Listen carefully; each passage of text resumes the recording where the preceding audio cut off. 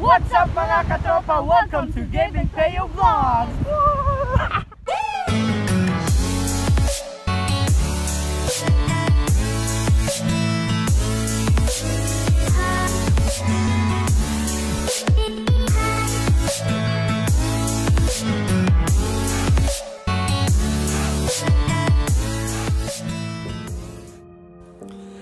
Hey, what is up mga katropa? So ayun nga, kung makikita nyo, andito tayo ngayon sa El Nido, Palawan at papasok kami sa El Dive Diving Center. Isa sa mga pinakamalupit na diving center sa El Nido, Palawan guys. So ayan, kung makikita nyo, um, yan yung kanila equipments. Uh, meron silang iba't ibang klase, different available sizes na kung saan makakapili ka talaga ng komportable sa'yo. So ayan si Tito, nagsusukat na ng uh, equipment niya na nagagamitin namin para sa dive bukas. So, uh, ayun nga, kung makikita nyo, nag-assist sa amin yan si Sir Mark Malorca, one of our dive masters and a professional underwater photographer. So, kung makikita nyo mamaya guys, ang lupit ng mga kuha ni Sir Mark mamaya na ating mga Instagrammable pictures.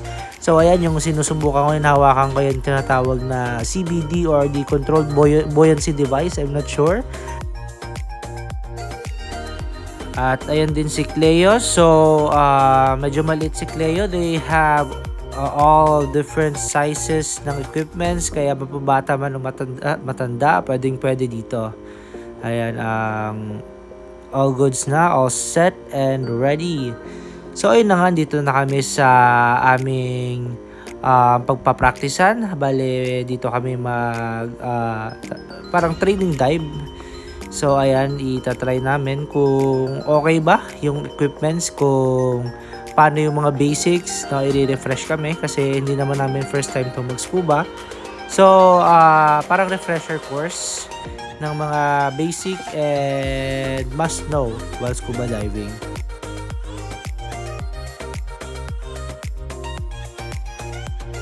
So ayun ang mga oras na to medyo uh, kinakabahan kami kasi kala namin uulan kung makikita nyo sa background ayun medyo maalon.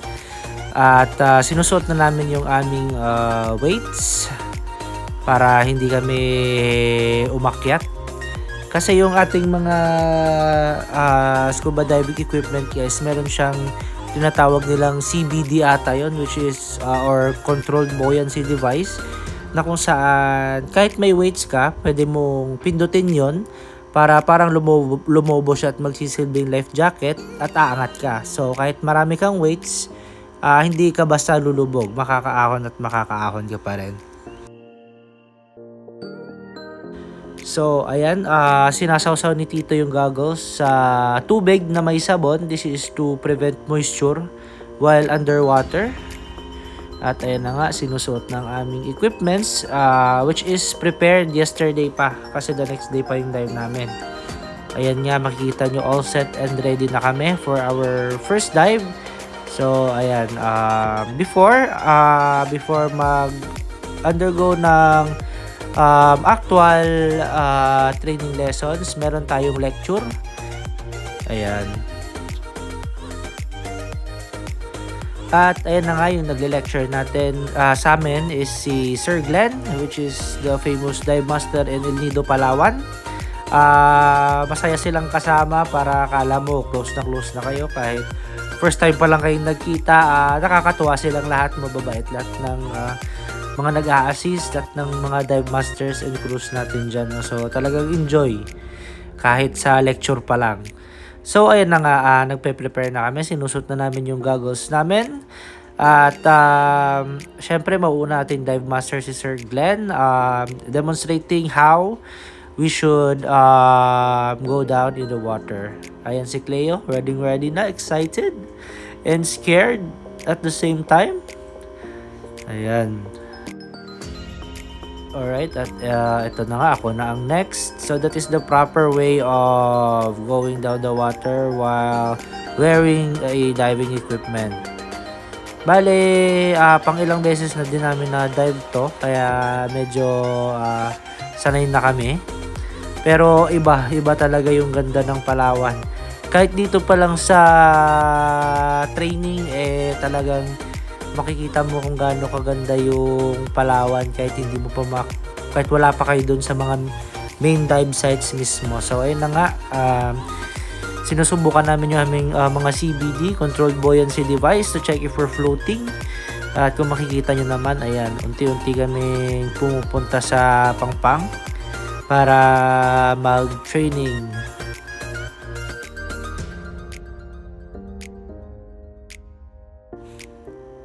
So ayun dito makikita nyo uh, tapos na kaming mag-training and all and uh, we're going to our next spot. Alright, so ayan.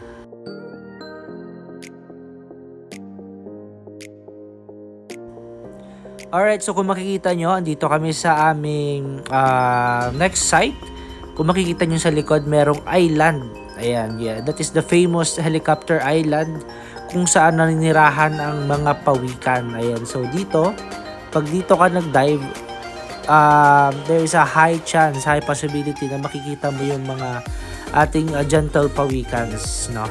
So, ayan, dito yon Ito yung lugar na yun sa Helicopter Island. So, ayan, um, we are preparing to go down the water.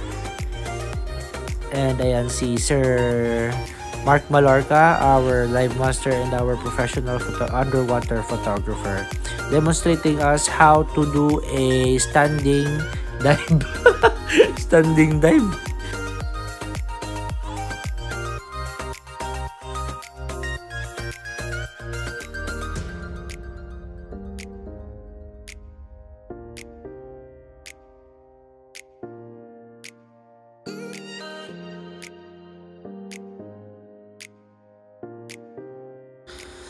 Alright guys, kung makikita nyo, kala nyo mas madali pag ganitong nakatayo ka. Tapos, uh, tatalon ka lang. Pero actually, mas madali yung una namin ginawa.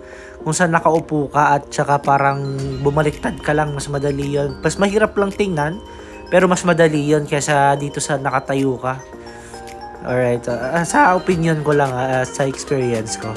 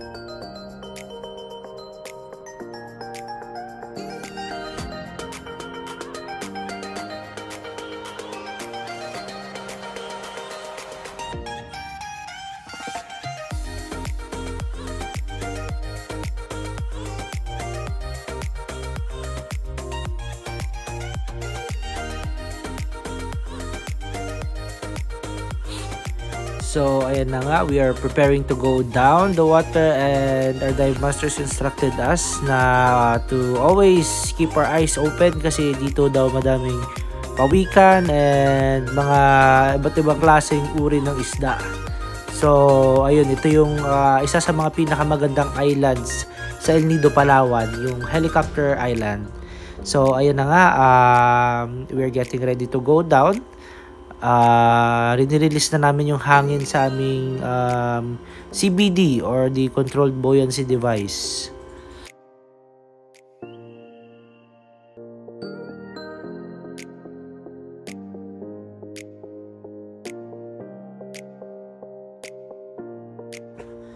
So ayun nga to release the um, the air from your controlled buoyancy device you just have to lift the gauge tapos para may button na pinipress And then, pipindutin mo lang siya. Tapos, once na nagre-release yung air, unti-unti rin kayong lulubog. Ayan yan. Nakikita nyo, uh, unti-unti na rin kaming lumulubog.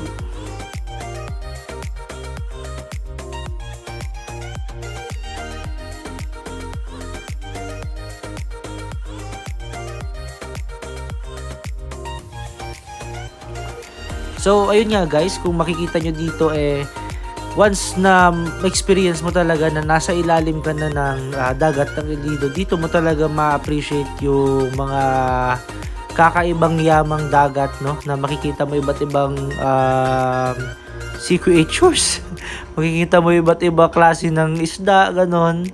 Bukod sa pawikan, ng daming unique na mga isda dito na makikita guys at buhay na buhay yung chorus. Ayan nga, kung makikita nyo, uh, andyan na yung mga pawikan. May isang pawikan na kaming nakita, linapitan si Cleo. Ayan, yung napaka-gentle at napaka-friendly ng mga pawikan dito guys. Uh, hindi sila takot sa tao. At uh, pero uh, hindi sila ba pwedeng hawakan, hindi sila pwedeng galawin. Pero mababait sila, hindi sila nangangagat. Ayan, kung makikita nyo, uh, dyan kami nagtutumpukan pero hindi natatakot yung pawikan kasi sanay sila sa tao. So, bawal silang hawakan, no? Uh, hayaan mo lang sila na lumapit sa'yo. Tapos, uh, ayan yung kinakain nila, yung damo, damo sa ilalim ng dagat.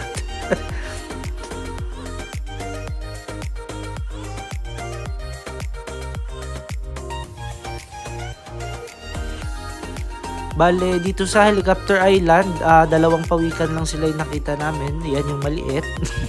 Kita nyo natakot si Cleo, ang lit-lit ng pawikan na yan. Pero meron pa mamaya yung isa, yung malaki. Dito sa island na to. Ayan. So, ayun, in-explore namin yung Helicopter Island. At hindi ka talaga magsasawa sa makikita mong corals, mga iba't ibang uri ng isda. So, talagang mag enjoy ka.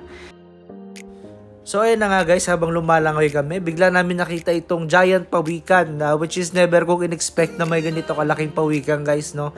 So at uh, sa moment na to, grabe super excited ko at natatakot at the same time kasi kung makikita nyo naman, parang maliit lang dyan siya sa video pero kasing laki ko yan, mas malaki pa sa akin yan.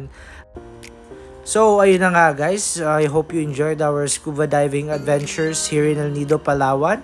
And we'll see you on the next vlog. Bye!